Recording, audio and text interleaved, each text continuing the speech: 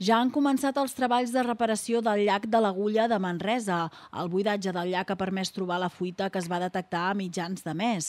Situada a la vora de la bassa d'entrada, ha estat causada per una llosa de formigó que s'havia escardat i desplaçat.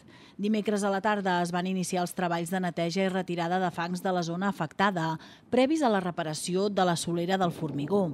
L'entorn del llac seguirà tancat fins que l'aigua torni al seu nivell habitual. Des d'Aigües de Manresa i la Junta de la Sèquia es demana a tots els usuaris i usuàries del parc que respectin el tancament i que no s'acostin a l'entorn del llac fins que es retiri la prohibició d'accedir-hi.